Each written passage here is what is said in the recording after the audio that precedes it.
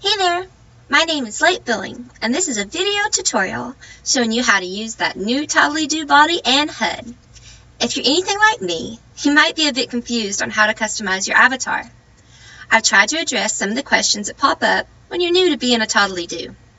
We'll go over some of the options in the HUD and a few examples where you may have questions. Alright, First, I want you to wear the default shape, body, and alpha included in your new Toddleedoo folder. So, I have my inventory here, the Toddleedoo Kid Girl, which is what I am, and I have on my alpha, the body, which is body kid, and the body controller HUD. When you have the HUD pop up, it'll be up here in your left-hand corner. As you can see, I already have all mine on. Go me. All right, so first up, it's very important. You want to use the default Toddleedoo shape. I know it's tempting, but it's very important to wear it. Otherwise, your body is going to be sticking out and you're going to look like you have gorilla shoulders. It's not pretty, believe me. And besides, you can always change your shape later using the Toddleedoo Perfect Shape included in the note card that Bit made. It's right here in your inventory in the folder. So go ahead and pop that up there and you're going to want to scroll down until you see the header that's called Shaping. So it's right here. Once you're there, you want to just go over here and you're going to find this note card that's called the Toddleedoo Perfect Shape Size. What that does is let you customize your shape into the Toddleedoo proportions. So you can have your face on a Toddleedoo body. That's one way to look at it. Also, she included, included this great link to let you compare your proportions to a real child, so you can portray the age that you want and not have to guesstimate their heights. And it's right here under the note card, idrawdigital.com. All right, you are now on your first step of being a Toddleedoo avatar.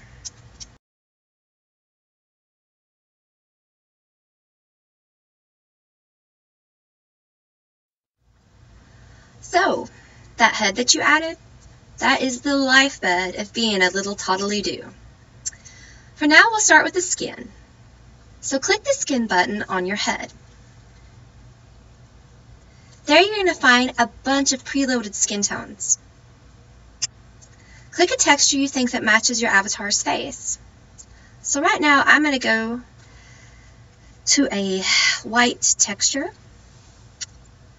Once you click that, a drop-down menu will give you a skin-based tattoo, and you want to make sure that you click Allow Skin to your avatar. So this is the Toddleedoo Skin Blend base. It's a tattoo, and it'll go into my body part folder. And Allow Skin allows the skin to actually be on your avatar. Now, you might not get it right the first time, and I sure don't want to walk around looking like I have Casper the Ghost skin tone. So you need to play around a bit and click on the options. And boom, I'm back to where I was before. Or maybe I need to go a shade lighter. No, I had it right the first time. So you want to accept your skin base and allow skin. Once you're done with that, you can close on the HUD right here to make it hide away and clear up your screen. Now, if you want to, you can get way more in depth with your skins, but I've never had to as Bit has included so many shades to match my avatar's skin tone. And that's all in the Toddleedoo note card. But again, I really wouldn't suggest it if you're just starting out. Alright, you're one step closer to being a Toddleedoo.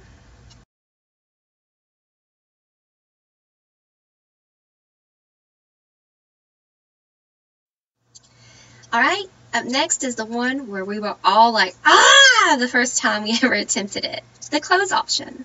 So go up to your HUD and click the close button, which I already have mine open. And your avatar should be wearing the default clothing that Bit designed to not leave our toddly butts naked. You can see it on the custom clothes option. And if you ever find yourself naked again, you can click on the default clothing of the HUD and boom baby, clothes again. But we want to take our clothes off and put on a new outfit. This is where things can get a little bit tricky, but bear with me. So you click the Take Off button on your HUD, and a drop-down menu is going to appear. I want to take off my default pants, or these pink nightmares that I'm wearing. Just kidding, I actually like pink.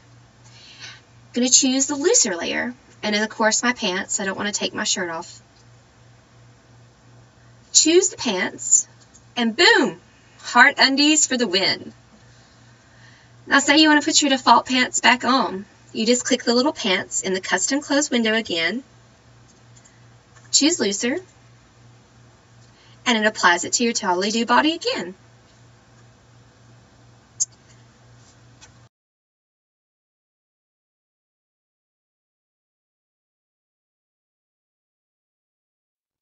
Alright, you've been a Toddleedoo for a hot minute now, and you've bought an outfit. Yay for you!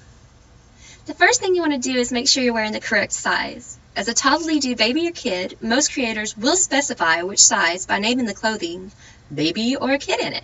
So since I'm a kid Toddleedoo, I'll be choosing the kid shirt and right clicking to add. Got a little outfit here I made and you'll see the baby shirt option and the kid shirt option. And you want to make sure you right click and wear add because if you choose wear, you can actually remove your mesh body and you look like a stretched out baby giraffe. It's not attractive. So we got on the shirt, it's a kid size, since I'm a kid Toddleedoo. You may notice the shirt, it's got a few parts of me poking out of the top of it. See them under my arm here?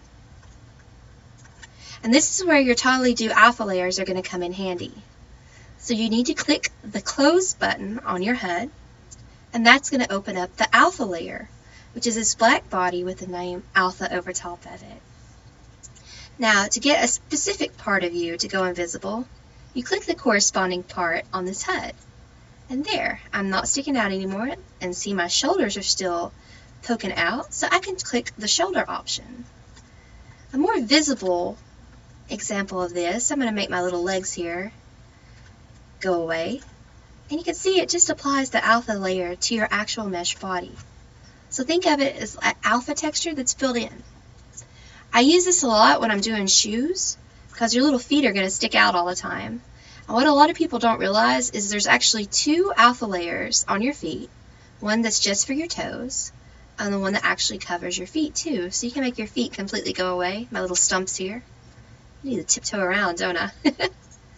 and if you want your feet to reappear, notice how they're grayed out on the HUD. If you click that again and make it go back to solid black, that means your alpha layer is gone and you are complete again.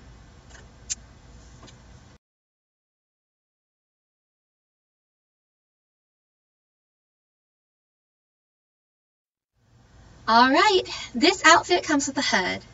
It's time to play with your clothing options again. So wear the HUD that the content creator has added for you. Go ahead and add that there and it's going to pop up on your screen. And I'm going to click it See, I have click to wear written on mine. I'm going to choose looser to get rid of the default pants that I'm currently wearing. And there we go. Clothing layer has been applied to my pants layer. And it looks like I'm wearing a pair of bloody little jeans, as I'm a zombie killer. And now you can detach the HUD and marvel at your little Toddleedoo self.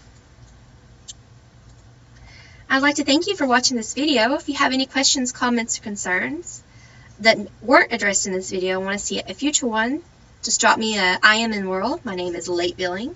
Woohoo! You can also get in contact with the owner of the Toddleedoo body, which is Bit McMillan. She's usually pretty good about getting back to you trying to work out any bugs that you may be applying. Now, number one, you want to make sure that you have your avatar in a region where there's scripts enabled.